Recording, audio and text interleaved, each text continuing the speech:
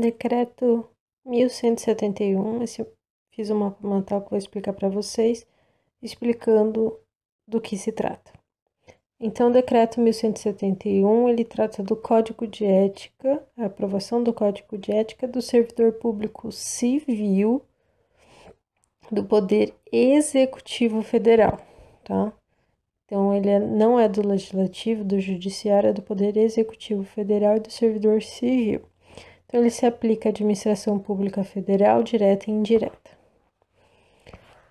É, esse decreto ele estabelece, dentre outras coisas, que devem ter uma comissão de ética integrada por no mínimo três servidores ou empregados em cargo efetivo ou ali permanente, dependendo da situação.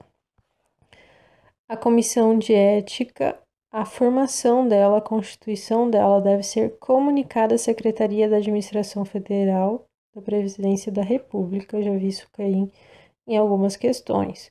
Aqui é uma síntese geral, depois nós vamos abordar os temas que, a, que essa lei, que o Código de Ética traz. Então, vamos para o próximo vídeo.